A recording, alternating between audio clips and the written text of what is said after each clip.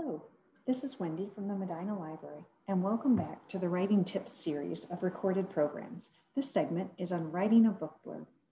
Writing a book blurb can be done on the front end or the back end of the writing process. If you've already finished a story, creating a blurb can help you get a handle on the key elements of your narrative.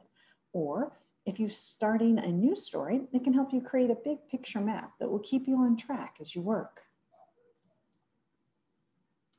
So what is a blurb? A book blurb is a short description of the book's main character and conflict, usually between 100 and 200 words, that traditionally is included on the inside cover or the back of a book, as well as on online retail sites like Amazon and Barnes & Noble. I'd add that blurbs typically end on a hook that makes the readers want to know more. So why write one? First of all, for yourself. A blurb can be your North Star, keeping you on track as you write.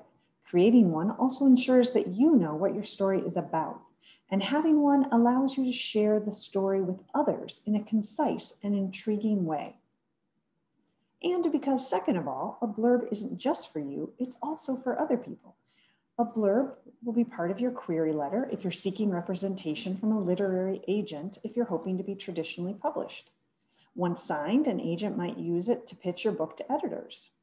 And if an editor likes your story, they may use some version of your blurb to convince the publisher to buy your book. Most importantly, your book blurb is for readers, whether traditionally published or self published. A blurb is how you entice readers. If your cover has caught a potential reader's attention, the blurb is what will seal the deal. So, what are the parts of a blurb? The first part is to set the stage by orienting readers to the story through introducing the hero, the setting, and the current situation, basically setting up the context of your story. In part two, we'll introduce a problem. Let's start with the hero, also known as the protagonist or the main character. What's their profession or life role? What makes them interesting? Think about a strong adjective or two to describe your main character. Here are a few examples from some published books. Reclusive Hollywood icon Evelyn Hugo is finally ready to tell the truth about her glamorous and scandalous life. This is from the blurb for The Seven Husbands of Evelyn Hugo by Taylor Jenkins Reid. The description uses power words like reclusive, Hollywood icon, and scandalous to describe the main character and catch people's interest. My disease is as rare as it is famous. Basically, I'm allergic to the world. I don't leave my house, have not left my house in 17 years. From Everything, Everything by Nicola Yoon. This one is unusual because it's in the first person, and blurbs are more often in third person, even if the story is in first person, but it works well. And one more.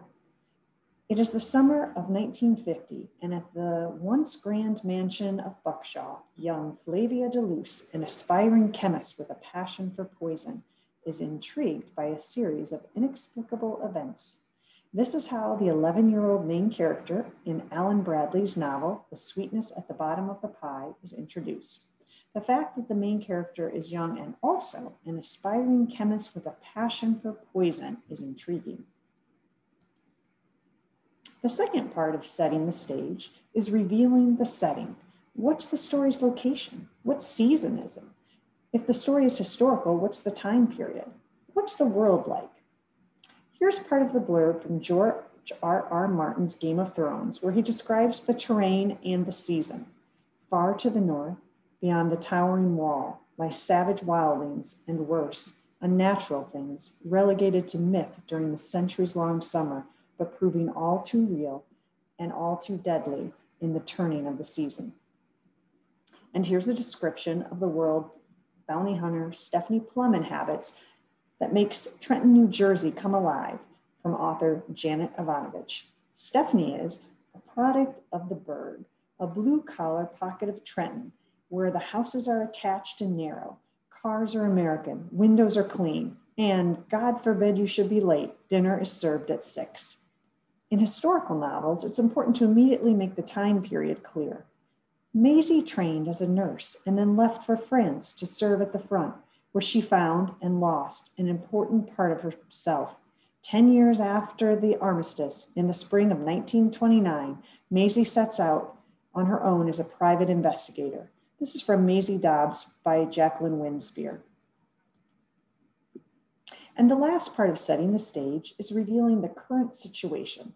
The current situation gives the reader a glimpse of the hero's life as the story begins. Often all three parts, introducing the hero, the setting, and the current situation overlap. In terms of the current situation, what's the hero's life like as the story opens? Does the hero have any hopes or dreams at the start, ones that are about to be shattered or at least interrupted? Even implied desires can cue the reader in to what's at stake or what's about to change. Here are a couple of examples. Six days ago, astronaut Mark Watney became one of the first people to walk on Mars. Now he's sure he'll be the first person to die there. From The Martian by Andy Weir. True crime aficionado Stevie Bell is set to begin her first year at Ellingham Academy, and she has an ambitious plan. She will solve this cold case. The cold case, by the way, involves the decades old kidnapping of the wife and child of the school's founder. This is from Truly Devious by Maureen Johnson. After laying the groundwork for what the hero's everyday life is like, it's time to introduce the problem. This is sometimes called the catalyst, and it sets up the stakes and hints at the journey the hero and the reader will be going on. It indicates that things are about to change. Here are a few questions to help zero in on the catalyst or problem in your story. What event turns the hero's life upside down? What goal does the hero desperately want to achieve? What opposition stands in the hero's way? What's at stake? Here's an abridged blurb version of the blurb from Heart Shaped Box by Joe Hill. For $1,000, Jude will become the proud owner of a dead man's suit, said to be haunted by a restless spirit. He isn't afraid. But what UPS delivers to his door in a black heart shaped box is no imaginary or metaphorical ghost. It's the real thing. And suddenly the suit's previous owner is everywhere, waiting with a gleaming razor. The event that turns the main character's life upside down in this blurb is the arrival of a murderous ghost. In another example, meet Don Tillman, a brilliant yet socially inept professor of genetics who's decided it's time he found a wife in the orderly, evidence based manner with which Don approaches all things, he designs the Wife Project to find his perfect partner. It's a 16 page scientifically valid survey to filter out the drinkers, the smokers, and the late arrivers. The Rosie Project by Graeme Simsion. And in it, Don has a clear, the main character, Don, has a clear goal and he is going all in on it.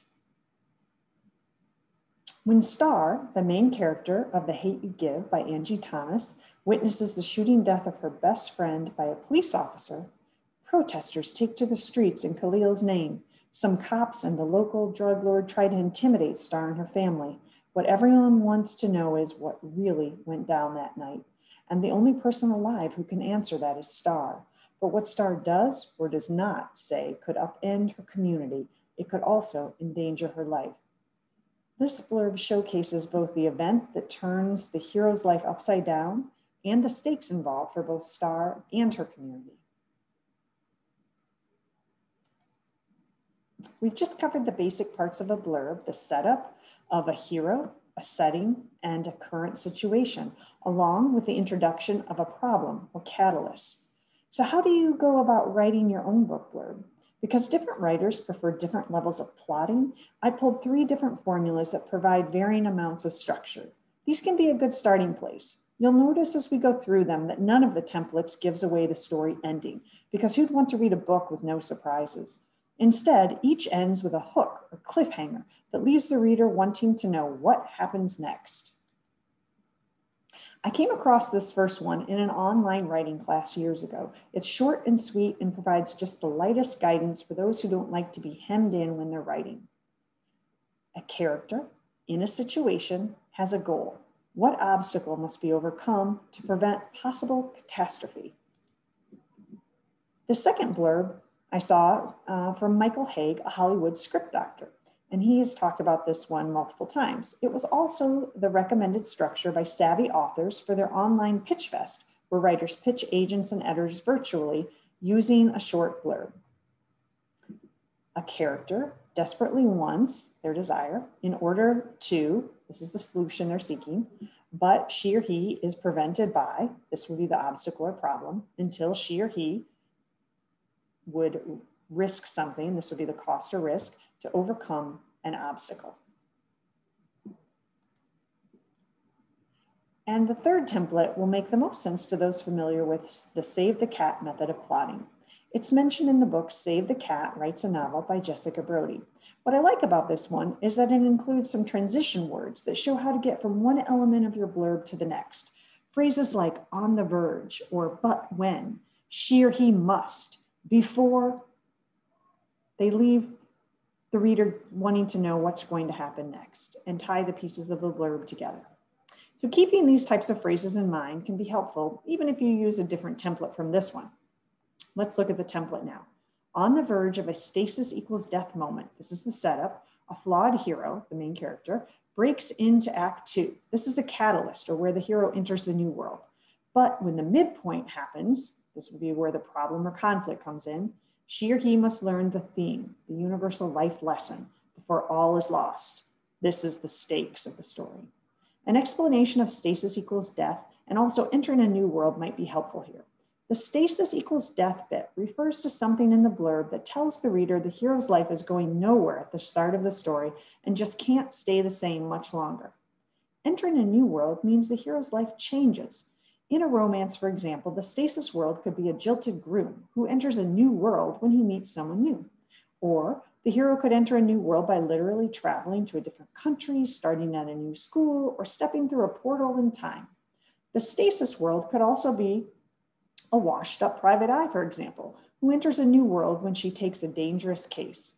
Basically, the stasis world and the new world are used to create a delineation in the hero's life of before and after. This template also includes a place for the theme, while theme isn't always overtly part of the blurb, it's generally a powerful underlying component. And we'll talk more about theme in a bit. Now let's use these formulas to analyze a few book blurbs from published novels. Warm Bodies by Isaac Marion. This blurb comes in at 128 words. R is having a no-life crisis. He is a zombie, our flawed hero. He has no memories, no identity, and no pulse but he's a little different from his fellow dead. He may occasionally eat people, but he'd rather be riding abandoned airport escalators, listening to Sinatra in the cozy 747 he calls home, or collecting souvenirs from the ruins of civilization. This is the setup and current situation. It's the setup of R's current situation or his ordinary life.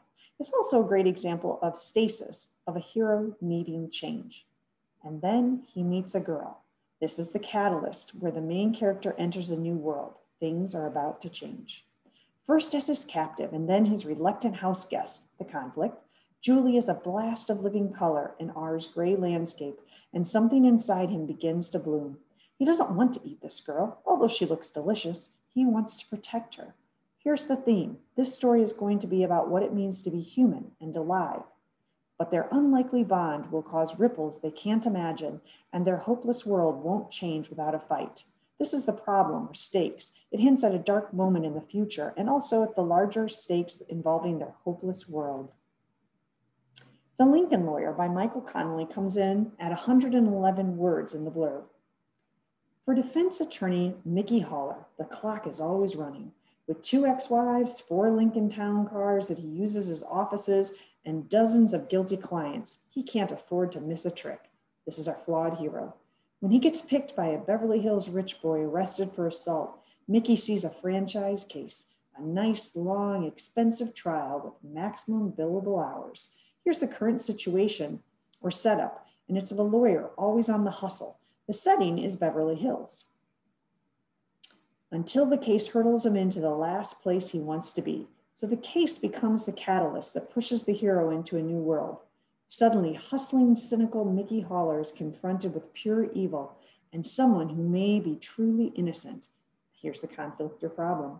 Now for a lawyer who's always gone for the easy score. The theme, Mickey is a hustler. He's not overly concerned with ethics, so his journey is likely going to be about justice. And sure enough, in the last sentence, getting justice means taking the deadliest risk of all So here we have the stakes. The deadliest risk of all implies that Nikki's life will be on the line. And lastly, the book, This Is Where I Leave You, Jonathan Tropper. At 90 words, this blurb is doing a lot of heavy lifting in a small amount of page space. The death of Judd Foxman's father marks the first time the entire Foxman clan has congregated in years. The situation and setup and hero are all in here. Judd is the hero, and he's just lost his father. There is, however, one conspicuous absence Judd's wife, Jen, whose affair with his radio shock jock boss has recently become painfully public. Simultaneously mourning the demise of his father and his marriage, Judd joins his family as they reluctantly sit Shiva and spend seven days and nights under the same roof. Here's the setting and entering the new world. The setting will be the family home, and this will also be the world that the characters um, enter as they leave their regular lives and instead stay in the same home together for seven days. As long-standing grudges resurface, secrets are revealed, and old passions are reawakened. Conflict and problem here. Then Jen arrives with news of her own. She's pregnant. The stakes have been raised. This Is Where I Leave You is a riotously funny, emotionally raw novel about love, marriage, divorce, family, and the ties that bind, whether we like it or not. Theme in this one, the theme is more explicitly stated. This story is about family dynamics. Let's talk about theme a little bit more. Theme is an effective way to clue readers into what your story is truly about. It's the heart of a story. Theme isn't what the hero does, but what the hero learns. There are some overarching themes that are often found in different genres of fiction.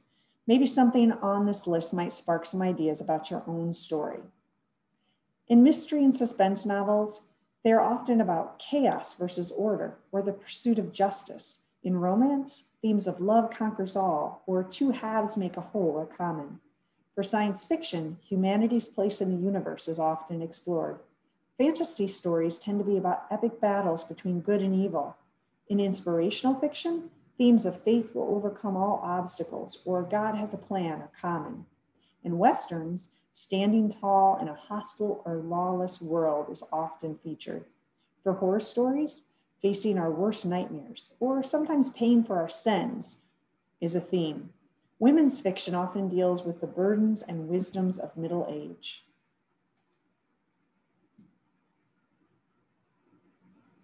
In the book Save the Cat Writes a Novel, Jessica Brody talks about theme being the universal life lesson the hero needs to learn in order to grow. Each of these themes can be approached from a variety of angles so that two stories exploring, say, trust might look very different depending on the angle you come at it from. So let's look at a few of these universal life lessons.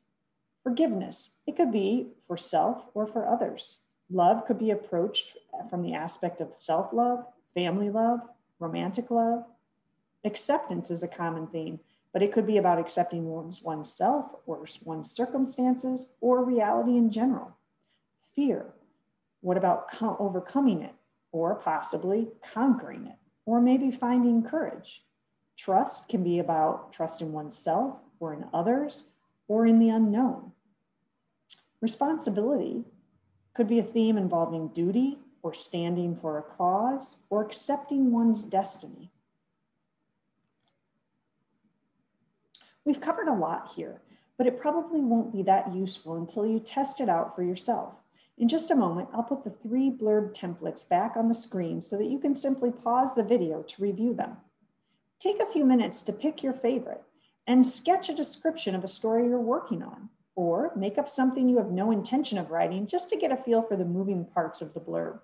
Or create a blurb for a novel you've just read, or even a movie or TV show you've recently watched. No editing is necessary at this point. Messy is fine when you're drafting. Here are the blurb templates again.